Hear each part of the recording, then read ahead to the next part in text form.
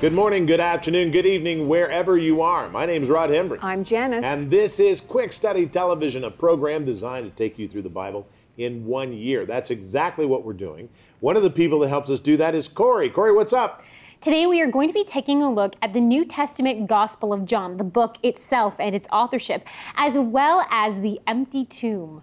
Excellent, very good. What did you study today? Well, a very interesting phrase from John chapter 19 in which it says that Pilate was even more afraid. Very good. And also, Ryan, what did you study? Well, today we're talking about the famous dispute between the astronomer Galileo and the church. Does the Bible really claim that the Earth is at the center of the solar system? That's right. All of these things are coming your way, plus the teaching in which we're going to talk about the crucifixion. The Romans treated Jesus Christ like a criminal. We'll talk about that and more still to come right here on Quick Study.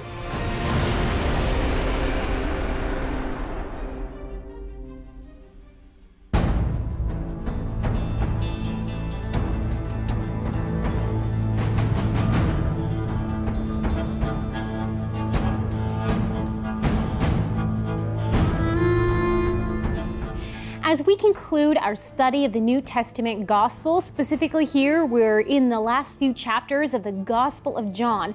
You and I are going to be taking a look at the history of the Gospel of John itself, its authorship, and when it was written. The Gospel of John is believed to have been the last written of the four New Testament Gospels. Internal and external evidence have led most scholars to agree that it was written sometime during the 80s or 90s AD, placing it during the reign of Emperor Domitian and making it one of the last New Testament books composed. Authorship of this gospel has traditionally been given to one of the twelve apostles. John, the brother of James, the sons of Zebedee.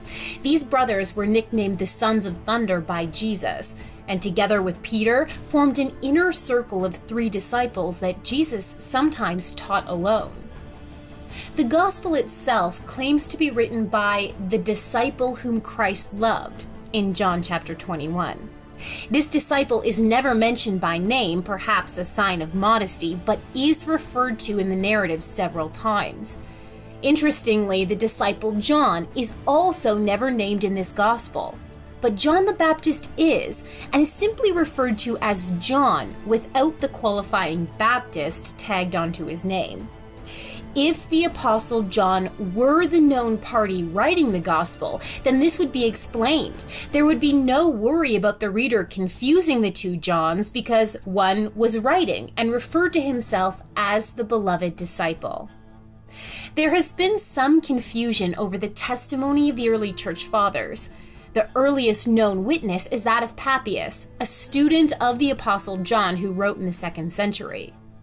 Papias seems to indicate two prominent Johns in the early church, so some believe that it was the second John and not the apostle who wrote the gospel. A close reading of Papias's lists reveals a probable solution. The list is broken into the disciples of Christ who had by the time passed away, and the following generation of church leaders. Tradition tells of the long life of the Apostle John teaching into his old age at Ephesus.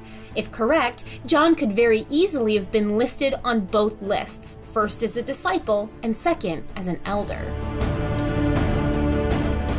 I hope that you've been able to catch all of the quick study shows in which we've talked about the authorship of uh, the four different New Testament Gospels, uh, because each Gospel was written for a specific purpose. It had a, it had a specific theological goal in mind. And remember, the the Gospel authors, uh, there's no historical evidence whatsoever that they felt free to invent history. In fact, there's there's evidence to the contrary of that. There's evidence that even when the New Testament Testament church, uh, the, the first century church ran into very difficult issues uh, and, and even fights. They did not invent sayings of Jesus or parables of Jesus or miracles of Jesus that would conveniently fix their problem. They just battled it out and prayed to God and asked for a resolution. And they used uh, um, expository teaching from the scriptures in order to figure out how to how to handle and deal with those issues that they were running into, but they never felt free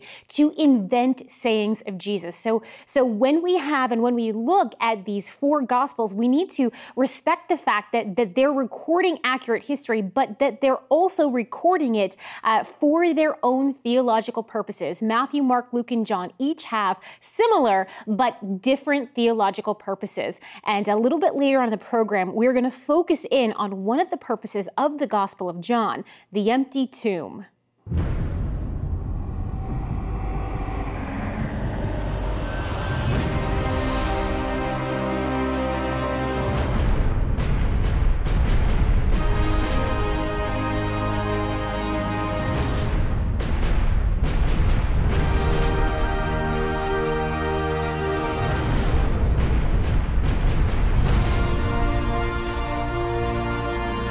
Today we study the details of the crucifixion. John 19 gives us insight to what was said and how Pilate responded to Jesus Christ and to the Jewish priest and the leaders. Pilate argued that Jesus Christ need not be killed, as he found him innocent of any wrongdoing against the Roman Empire. But the Jewish leaders turned this into a fight for Caesar's position in Judah. The Roman soldiers mocked Jesus. Pilate had no choice but to release him to be crucified. And the argument was that it should have been the Romans who crucified Jesus because of the religious implications of their law.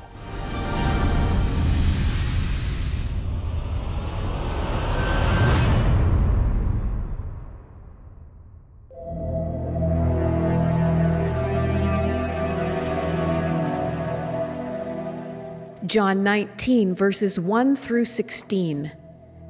So then Pilate took Jesus and scourged him, and the soldiers twisted a crown of thorns and put it on his head, and they put on him a purple robe.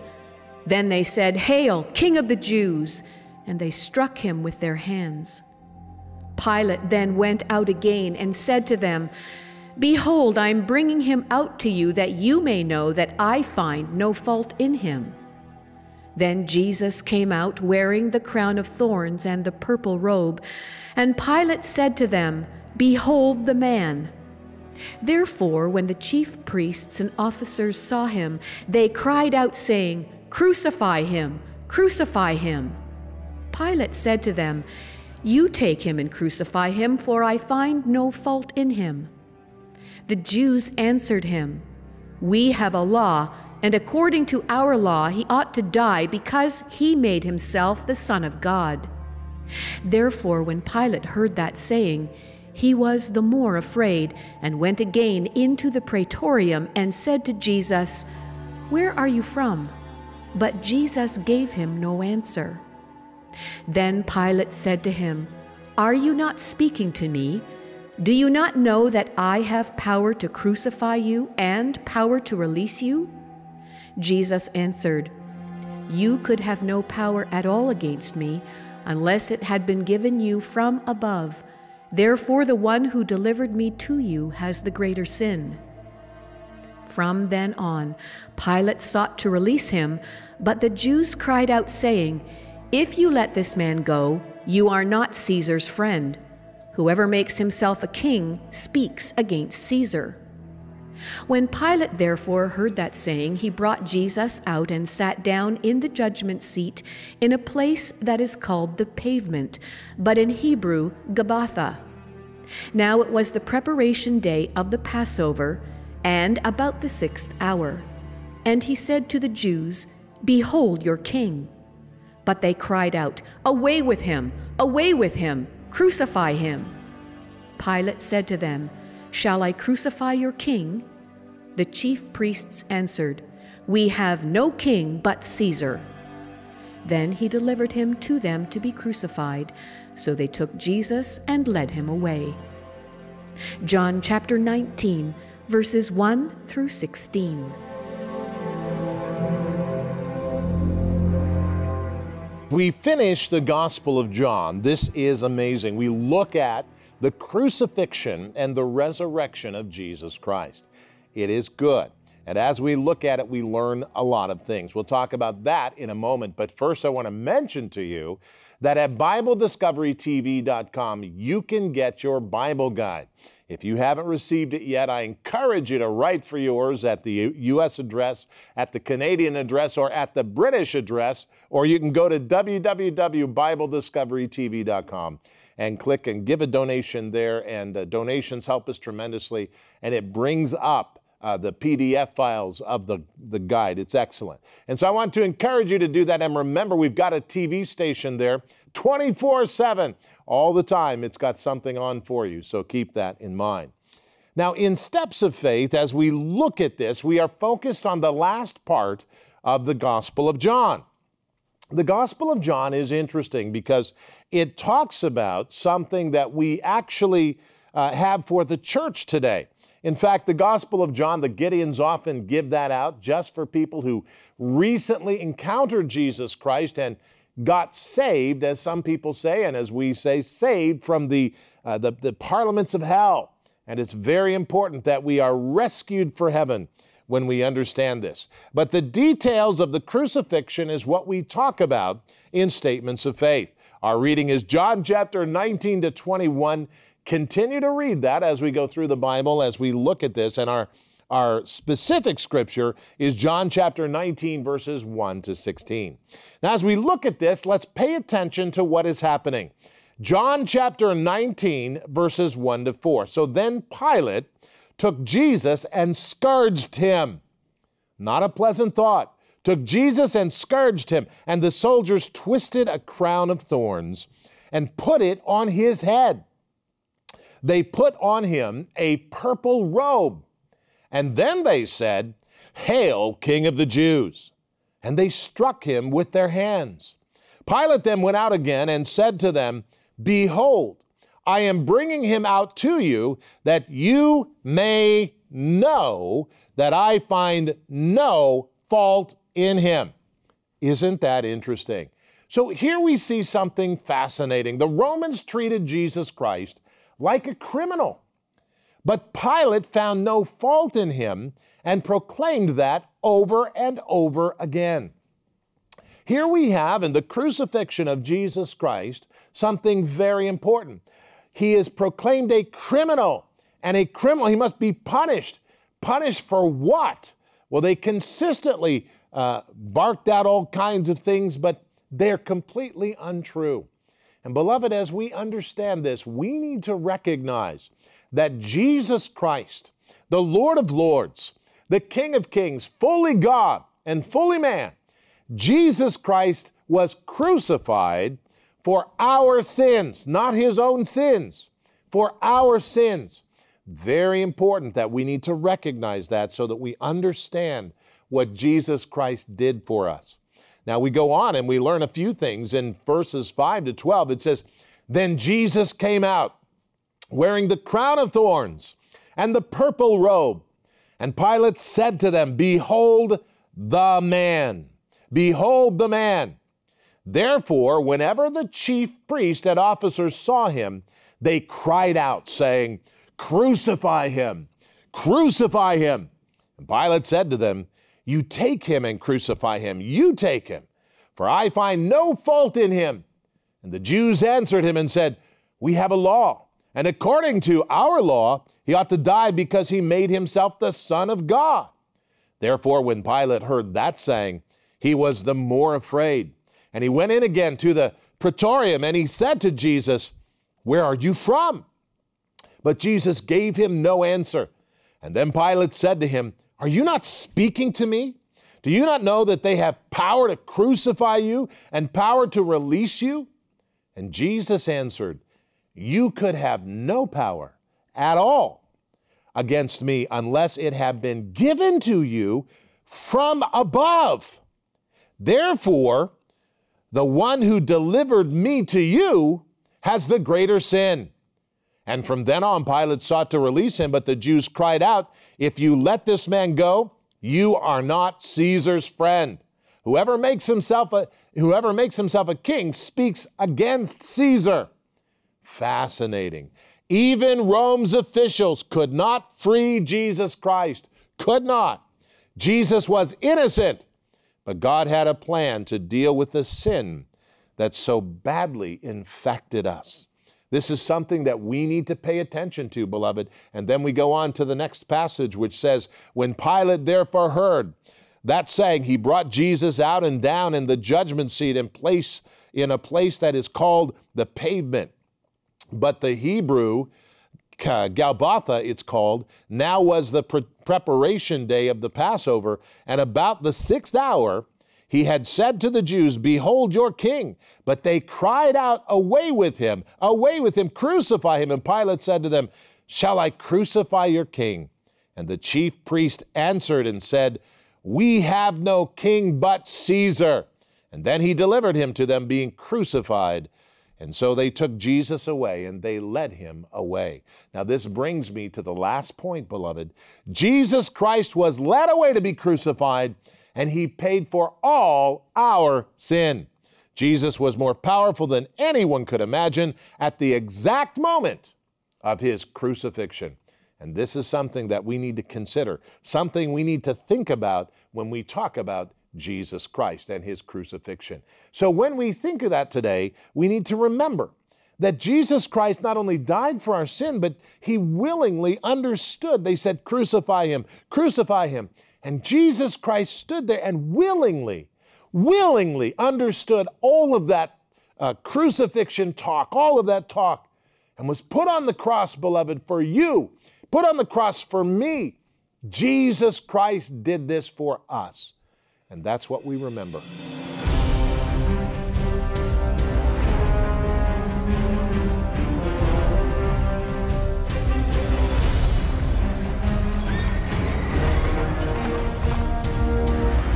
You and I are going to focus in on the central event of every gospel. Not the crucifixion of Jesus Christ, not the birth of Christ, not even the ministry of Jesus Christ, but the empty tomb, the resurrection of Jesus Christ.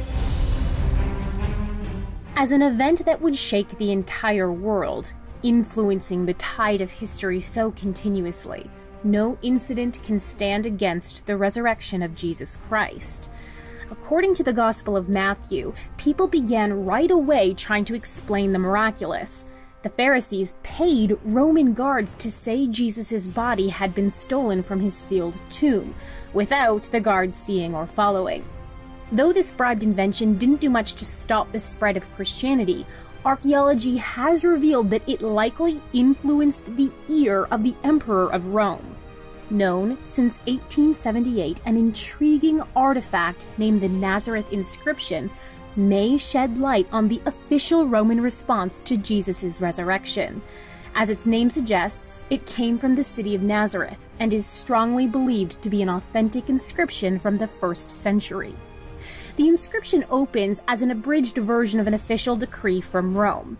It's concerned with the stealing of entombed bodies. What makes this unusual is that this isn't grave robbing. No valuables are being taken, only bodies. It also appears that this decree is aimed specifically at Jewish and Christian Jewish lifestyle who commonly use the family tomb. The inscription also links the offense of stealing a body with an evil plan, a deviously thought out, calculated offense and the punishment is very severe, brought before a religious tribunal and if found guilty, capital punishment. This inscription, dated to before AD 70, fits the time frame, the content, and even the culture that was reeling in the aftermath of Jesus' resurrection. It was a dangerous belief, replacing the King of Rome with the King of Heaven in a time period of revolt, it appears that Rome's response was to place a decree in the very spot this leader was said to have come from, a place that even identified these Christians called Nazarenes. The stone was placed in Nazareth.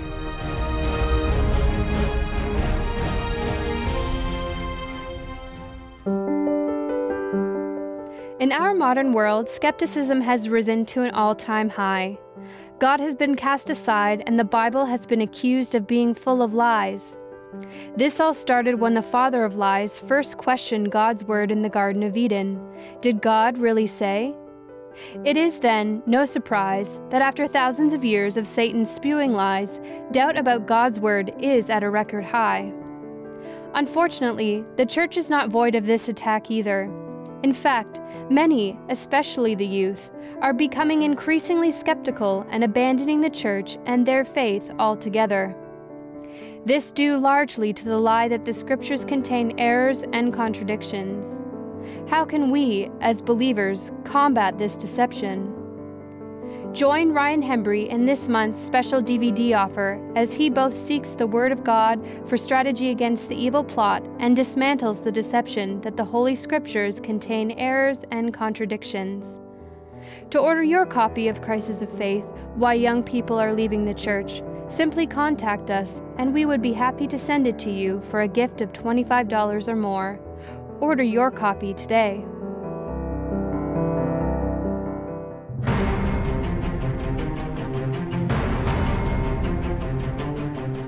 Thanks for staying with us as we continue to go through the Bible. Next time on Quick Study Television, I'm going to be talking about this. The church was growing strong in Jerusalem and then was persecuted.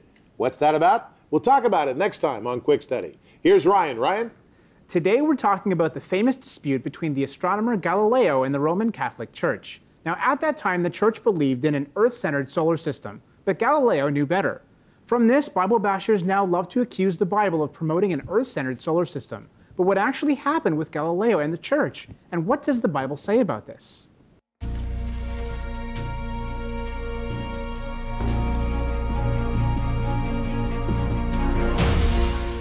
The idea of an Earth centered solar system was the subject of the famous dispute between the astronomer Galileo Galilei and the Roman Catholic Church. Indeed, while the church of the time believed in a geocentric, that is, an Earth centered solar system, Galileo promoted the heliocentric or sun centered solar system. Today, we know that Galileo was in fact correct. From this, many attacks have been made against the Bible, claiming that it too promotes geocentrism. Critics cite Psalm 19, 4 6, which states, Their line has gone out through all the earth, and their words to the end of the world. In them he has set a tabernacle for the sun, which is like a bridegroom coming out of his chamber, and rejoices like a strong man to run its race. Its rising is from one end of heaven, and its circuit to the other end, and there is nothing hidden from its heat. Does this passage actually support an Earth centered solar system? Two facts must first be established. First, the Roman Catholic Church of Galileo's time was for some reason foolishly accepting the teachings of the Greeks, which included geocentrism. So this was not something they took directly from the scriptures. Second, Galileo was himself a man of God and a believer of the Bible and did not accept this teaching. Therefore, these facts considered, there are at least two possibilities in regards to the Psalm 19 passage. First, we must understand that the Bible is a book from God to mankind, and man is very earth centric. Indeed, both laymen and scientists alike refer to the sun setting or rising, or say that the stars come out at night. These expressions, however, do not claim that the sun is in motion around the earth, or that the stars are not always there. In the same way, the Bible also sometimes speaks with these expressions, especially in a poetical passage such as this. But in no way is it promoting geocentrism. Second, to the astonishment of many, it has recently been discovered that the Sun is actually in orbit. While not in orbit around its planets, it is in orbit around our galaxy, at an incredible velocity of 250 kilometers per second. Yet it goes even beyond this, because while we are in orbit around the Sun, and the Sun is in orbit around the galaxy, the galaxy is also in motion through the universe. This passage in Psalms, then, could be referring to this very thing.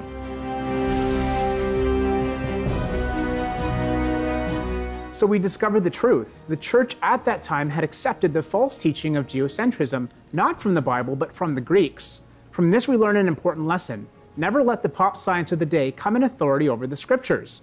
Remember, the Bible has proven itself time and time again to be right.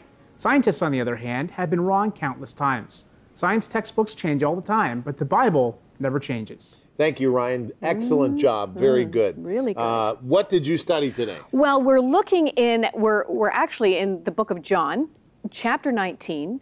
And we find this really interesting statement, at least I do anyway, where um, if we start back, uh, Pilate has brought Jesus out. He's saying, Behold the man. The, the chief priests and, and the Jews are yelling, Crucify him, crucify him. Pilate is saying to them, You take him and crucify him, which is a, a really a, sar- a sarcastic statement because he knows that in their law they can't. For I find no fault in him, Pilate says. The Jews answered him, We have a law, and according to our law, he ought to die because he made himself the Son of God. Then there's this interesting verse that says, Therefore, when Pilate heard that saying, he was the more afraid. Well, what made him afraid in the first place that now them saying that has made him more afraid? Well, if we go back to the account that Matthew tells in Matthew chapter 27, verse 19, earlier that morning, Pilate's wife has a dream about Jesus. And it says, while he was sitting on the judgment seat, that means Pilate, his wife sent to him, saying, Have nothing to do with that just man, for I have suffered many things today in a dream because of him. So this just compound, it was like a bad nightmare coming true for Pilate, who found no fault in Jesus Christ. How interesting is that? It really is. It really is.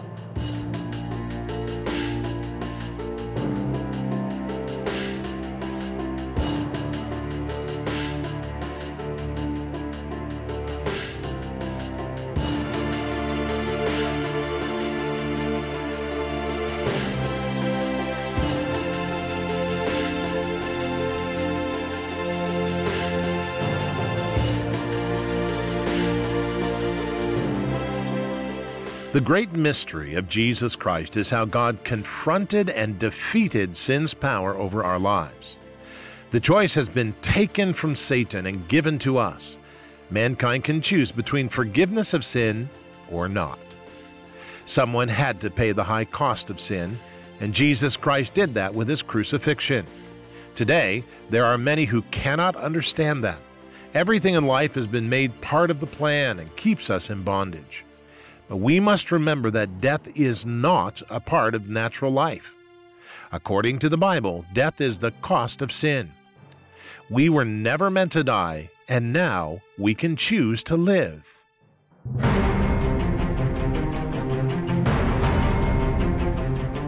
You know, it's important to understand who God is. When we come to this place, we realize that God is real. And there's something about this program and something about many other programs that God has made clear to us. He's used our modern media to come to us and say, I'm alive and I'm real. Jesus Christ came and died for your sin and mine many years ago, and He rose again. And if you invite Him as Lord into your life, He will save you.